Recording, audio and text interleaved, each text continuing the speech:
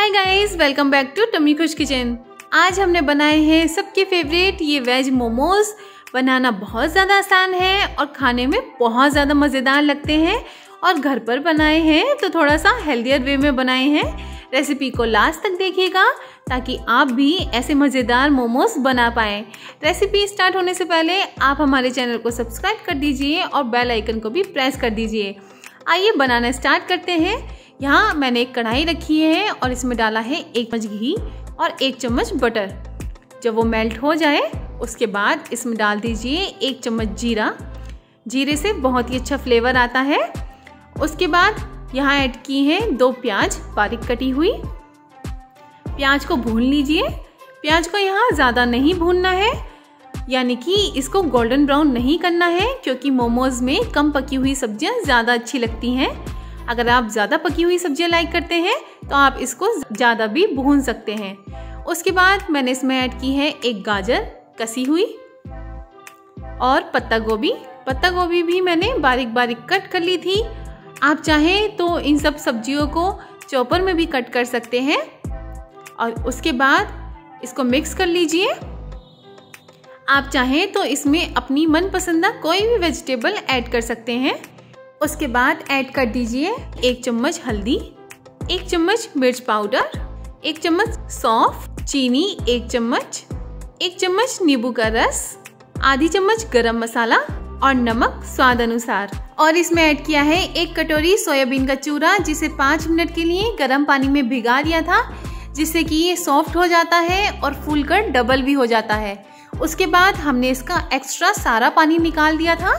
बहुत ज़्यादा हेल्दी होता है ये, इसलिए हमने इसे मोमोज में ऐड किया है।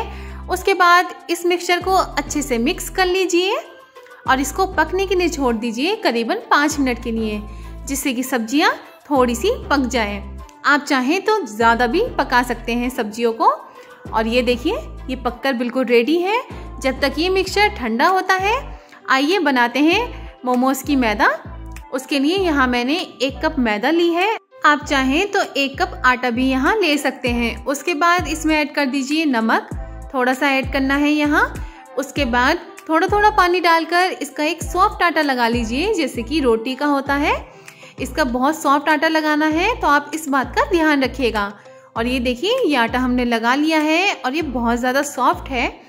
उसके बाद इसे किसी कपड़े की हेल्प से ढककर रख दीजिए। करीबन 10 मिनट के लिए ताकि ये आटा सेट हो जाए। और ये देखिए, दस मिनट हो चुके हैं। उसके बाद मोमोज़ के लिए छोटी छोटी सी बॉल बना लीजिए, जैसे कि हमने बनाई है, ये देखिए।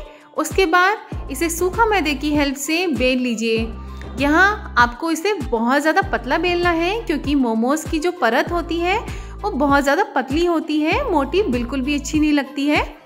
और ये देखिए, ये हमने बेल लिया है, बहुत ही ज़्यादा पतला बेला है। आप देखिए कितनी ज़्यादा पतली है ये? उसके बाद इसमें भर दीजिए स्टफिंग जो हमने रेडी करी थी। ध्यान रखें स्टफिंग ठंडी होनी चाहिए। यहाँ हमने डेढ़ चम्मच के करीब स्टफिंग भरी है।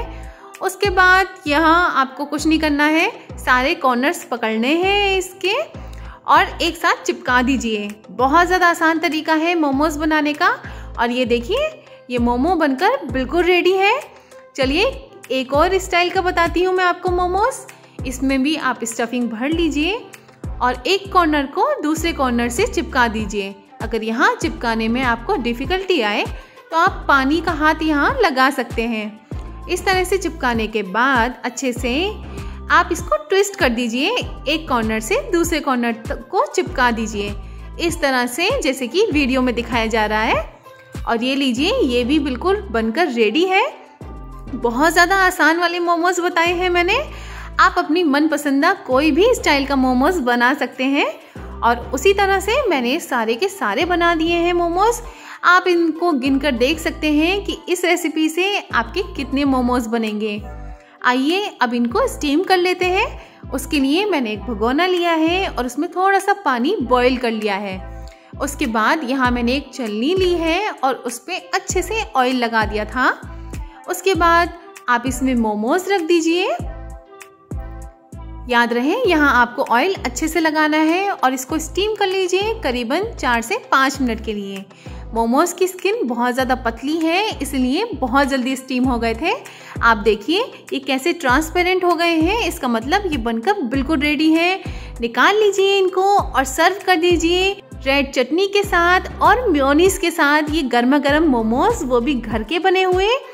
मोमोज की चटनी की रेसिपी मैंने पहले से ही शेयर करी हुई है। आप आई बटन पर क्लिक कर कर देख सकते हैं या फिर डिस्क्रिप्शन बॉक्स में भी आपको लिंक मिल जाएगी।